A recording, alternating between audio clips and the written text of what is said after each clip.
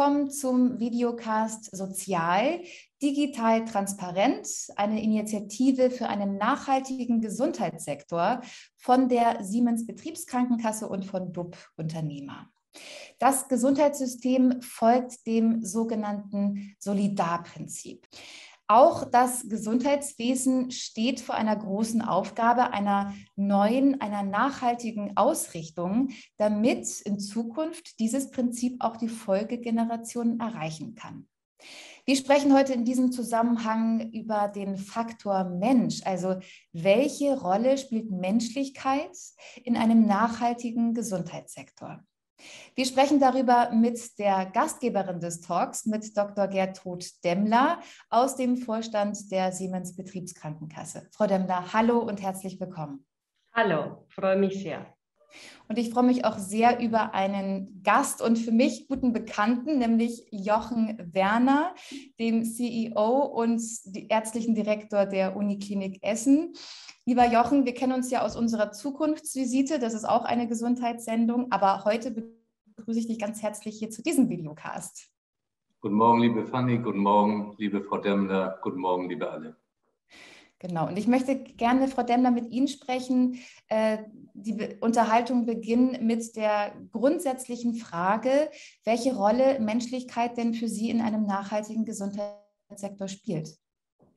Also die Bedeutung von Menschen in der Gesundheitsversorgung haben wir in der Corona-Pandemie ja sehr hautnah erleben können. Mhm. Sie sind nicht zu ersetzen und auch nicht schnell zu beschaffen. Also kurz, der Mensch ist eben nicht ganz einfach skalierbar, ist aber für eine nachhaltige Gesundheitsversorgung unverzichtbar. Der Austausch zwischen Menschen, nicht nur zur Übermittlung von Information und Wissen, ist für eine gute Versorgung unabdingbar. Und gleichzeitig, was noch viel wichtiger ist, die menschliche Eigenschaft wie Mitgefühl oder Vertrauen. Also in einem nachhaltigen Gesundheitssektor müssen wir uns also sorgfältig Gedanken darüber machen, wo wie die wertvolle Ressource Mensch wirklich wichtig ist und wo sie für Patienten und Patientinnen einen Mehrwert bieten. Also das ist die Frage, äh, wie Menschen in der Gesundheitsversorgung ausreichend Freiräume gegeben werden können, damit ihre unnachahmliche Eigenschaft der Menschlichkeit dem Menschen zugutekommt. Also, und immer, wenn es um die Frage geht, was nützt den Patientinnen und Patienten? Mhm. Jochen, die Uniklinik Essen, die möchte sich ja zum äh, Smart Hospital transformieren. Und das soll ähm, eine Blaupause sein für eine innovative, für eine digitalisierte und zukunftsfähige Medizin. Und der Mensch soll vor allem immer im Mittelpunkt stehen. Wie passen mehr Mensch und mehr Digitalisierung deiner Meinung nach zusammen? Wie, wie geht das gut? Wie passt das zusammen? Ja, das ist tatsächlich eine gute Frage. Mehr Mensch, mehr, äh, mehr Digitalisierung. Ich sage bei beidem ja. Was bedeutet das eigentlich, mehr Mensch? Da müssen wir unterscheiden. Zum einen, wir haben immer mehr Menschen zu versorgen und äh, das hängt ganz maßgeblich auch mit dem manchmal schon vergessenen demografischen Wandel zusammen, der uns äh, immer mehr mit älteren Menschen und damit auch mit Krankeren konfrontiert, konfrontieren wird um die wir uns ja kümmern wollen. Das ist vollkommen klar. Auf der anderen Seite haben wir auch weniger Mensch, was die Fachkräfte betrifft. Also wir haben eine höhere Aufgabe, die Menschen zu versorgen, aber uns fehlen Fachkräfte. Und deswegen, glaube ich, müssen wir daran extrem alle zusammenarbeiten. Äh, das hat viel mit Kommunikation zu tun. Ähm, und äh, man braucht einfach auch neue Modelle. Es werden sich Berufsbilder komplett verändern, weil wir eben mehr Digitalisierung bekommen. Viel weniger Digitalisierung geht in Deutschland nicht. Also wir sind schon ziemlich äh, am Boden äh, ja, gelandet. Wir haben eine fürchterliche digitale Infrastruktur. Es ist seit vielen, vielen Jahren immer wieder von der Politik zugesagt worden, das zu verändern. Ist nicht passiert. Wir müssen jetzt damit klarkommen. Das, was wirklich sehr positiv zu, zu vermerken ist, ist äh, unser Bundesgesundheitsminister Spahn. Der hat tatsächlich einen digitalen Kraftakt hingelegt mit vielen Gesetzesgebungen, die auch das Thema nach vorne bringen werden. Nur dann kam Corona etwas dazwischen und jetzt müssen wir alle daran arbeiten, dass diese Gesetzesvorlagen und Gesetze auch wirklich umgesetzt werden. Mhm. Sonst bekommen wir wieder Stillstand.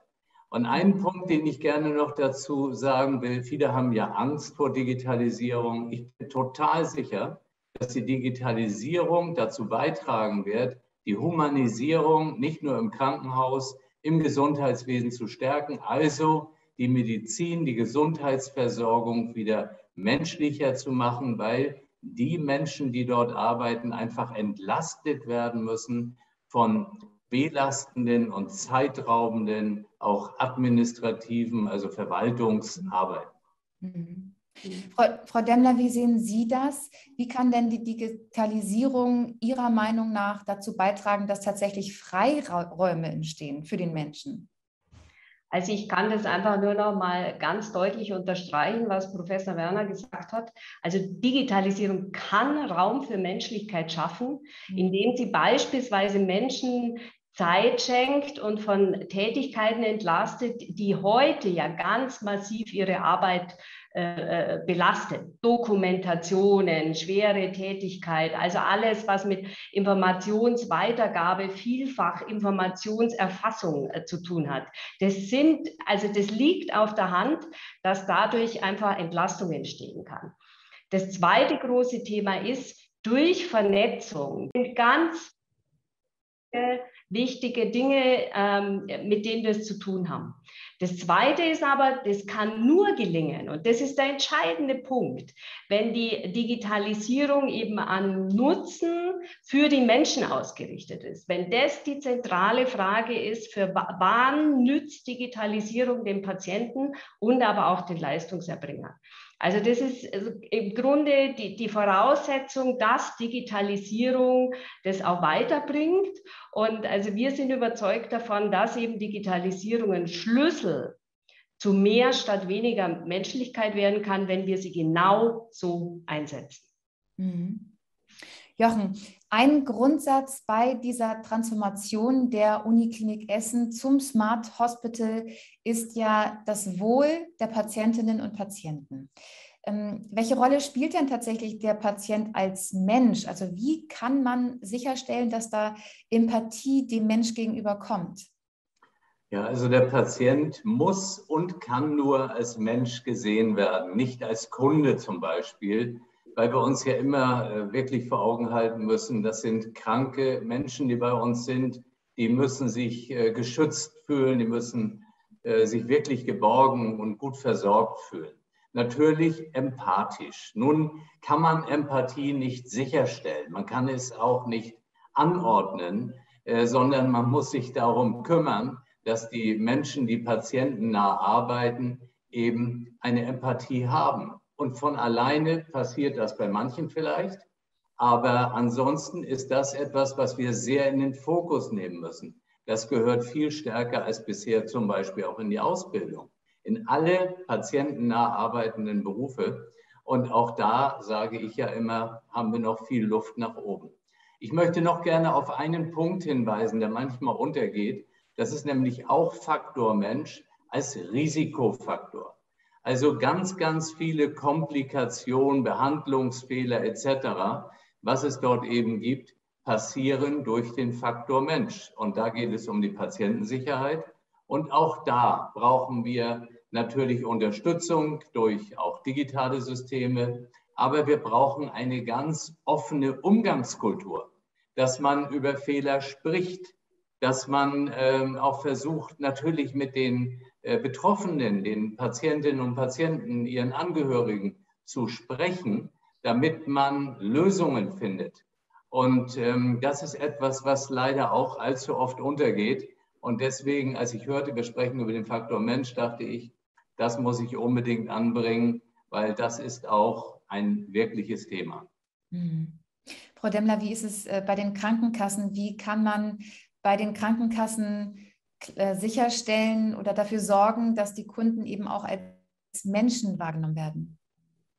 Also äh, im Grunde ist die Fragestellung auch bei uns keine andere. Also die, der, unser Ausgangspunkt ist immer, dass wir unsere Beratung oder auch unsere Dienstleistungsgestaltung äh, immer zunächst die Bedürfnisse und den Kontext des Versicherten im Mittelpunkt stellen. Und ich denke, das ist, das ist die Grundvoraussetzung, um, um Empathie überhaupt zu erleben, zuzuhören, sich in den anderen zu versetzen. Und das gilt für, für egal für wen im Gesundheitswesen, äh, ganz genauso auch für uns.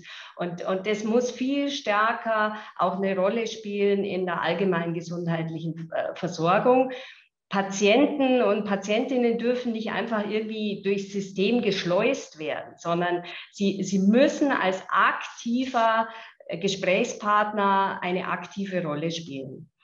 Und es ist eben Aufgabe der, der Menschen im Gesundheitssystem, Patienten in eine aktive Rolle auch zu begleiten, also äh, kompetent zu entscheiden, ähm, äh, den, die jeweilige Situation aufzunehmen, äh, aufgrund der guten Grundlage von guten Daten gut zu beraten. Das sind alles so, so, so Punkte, äh, die dafür sorgen, dass äh, der Mensch sich dann eben als Mensch äh, behandelt fühlt. Und es gibt einen dritten Punkt, der mir sehr, sehr wichtig ist, den wir bei uns in der SBK seit vielen Jahren sehr, sehr äh, prominent nutzen. Wir brauchen viel mehr für die Bewertung auch der Qualität von Versorgung, die, die konkrete Erfahrung von Patientinnen und Patienten. Also wir müssen die viel konsequenter, die versicherten Erfahrung nutzen, um auch Gesundheitsversorgung weiterzuentwickeln, um auch zu verstehen, was ist Menschen in welcher Situation wichtig. Und eins zeigt sich bei uns, und jetzt sind wir noch sozusagen noch äh, gefühlt von, von dem, was wir tun in der Beratung, äh, ja noch weiter weg. Aber der menschliche Kontakt das spiegeln uns alle Rückmeldungen unserer Versicherten wieder, ist sehr, sehr wichtig, wenn es darauf ankommt. Der lässt sich eben nicht ersetzen. Mhm. Jochen, was muss denn jetzt konkret passieren, damit der Faktor Mensch ähm, in einer nachhaltigen Gesundheitsversorgung seine Wirkung entfalten kann?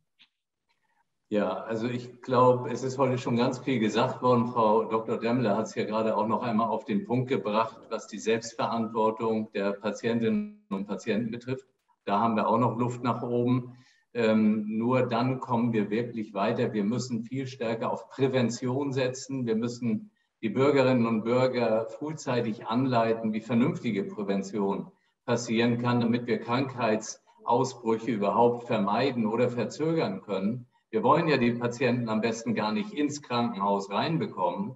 Und vor dem Hintergrund, ähm, ja, wir kommen dann immer wieder auch auf das Thema Digitalisierung, weil natürlich mit Digitalisierung die Diagnostik viel besser werden wird. Sie wird personalisierter ablaufen. Wir werden aber auch feststellen, dass die Transparenz größer wird. Man wird auch Fehler leichter erkennen. Man wird Behandlungsqualitäten miteinander vergleichen können. Und man wird auch vergleichen können, das hat Frau Dr. Demmler auch gesagt, ähm, wie, mit, wie ist mit jemandem umgegangen worden? Hat er sich wirklich menschlich aufgehoben gefühlt oder eben nicht? Und das kann man ja nicht dann unbeachtet lassen, sondern es muss Konsequenzen haben. Und da wird es dann Patientenströme geben etc. Deswegen sage ich, das ganze Gesundheitssystem gehört wirklich neu strukturiert, vom Patienten her gedacht, auch von den Mitarbeitern her gedacht. Das wird so kommen, es wird alles ein bisschen dauern. Äh, schnell geht ja eigentlich nichts. Aber ähm, ich bin zuversichtlich, dass wenn wir 15, 20 Jahre weiterdenken, sich so viel verändert haben wird, dass wir uns fragen, was ist damals eigentlich hier passiert? Hm. Frau Demmler, wie sehen Sie das? Was muss passieren, damit der Faktor Mensch sich entfalten kann im nachhaltigen Gesundheitssektor? Also all die Themen, die Professor Werner angesprochen hat und, und äh, vielleicht lassen Sie mich zwei, drei Dinge noch ergänzen. Der Gesundheitssektor insgesamt muss ein wertschätzendes Umfeld bieten. Also das gilt gerade auch vor dem Stichwort Fachkräftepflegemangel. Und äh, das hat mehrere Komponenten. Also da geht es um Handlungsspielräume geben, also Leute entsprechend ihrer Kompetenz auch einzusetzen. Es gilt wirklich Zusammenarbeit zu fördern. Das, was, was so, man so allgemein im Wirtschaftsleben eigentlich unbestritten ist. Das ist im Gesundheitswesen zum Teil wirklich noch äh, etwas rückständig. Und natürlich braucht es Zeit und Anerkennung. Und das, ist, äh, das hat was äh, mit Geld zu tun, aber eben nicht nur. Ähm, daraus leitet sich zwingend ab, dass wir wirklich darüber nachdenken müssen, wie ist die Arbeitsteilung zwischen Gesundheitsberufen? Also wie können wir die Kompetenz, die da ist, so sinnvoll wie möglich einsetzen? Das ist ein ganz wichtiges Thema. Dann eben Thema Digitalisierung dort zu nutzen, um diese Freiräume zu schaffen, damit Menschen das tun können, was sie besonders gut können. Und eben Patienten und Versicherte aktiv eben ins Versorgungs- und Heilungsprozess zu integrieren, durch Transparenz, durch Information, durch viel mehr Kommunikation. Und das alles gelingt nur, wenn es gelingt, Patienten- und Versicherten zentrierte Entwicklungsprozesse loszutreten, wirklich zu überlegen, was ist denn der echte Schmerz? Was muss denn verbessert werden? Was ist aus versicherten Sicht wichtig? Und, und sich zu lösen von den rein expertokratischen ähm, Innovationsprozessen. Also das, das glaube ich, das wäre mein Wunsch. Und dann ähm, würde ich das gleiche Fazit wie Herr Professor Werner äh, ziehen. Ich glaube, wir werden in im nächsten Jahrzehnt an dieser Stelle eine fundamentale Veränderung bekommen, weil eben auch der Veränderungsdruck so hoch ist und aber auch der Wille. Das äh, sehen wir und darauf freuen wir uns auch. Mhm. Frau Demmler und auch lieber Jochen, dann bedanke ich mich ganz herzlich für diesen Ausblick in die Zukunft. Das war der zweite Teil unseres Videocastes Sozial, Digital, Transparent zum Thema die Rolle der Menschlichkeit in einem nachhaltigen Gesundheitssektor. Wir sind wieder am 23. September zurück mit einer neuen Folge. Da geht es dann um das Thema begrenzte Ressourcen und wie man diese eben sinnvoll einsetzen kann. Zu Gast haben wir dann Marion Grote-Westrig von der Bertelsmann Stiftung, die dort das Projekt Patient mit Wirkung betreut. Dann vielen Dank für das Interesse. Gerne bis zum nächsten Mal und damit Tschüss.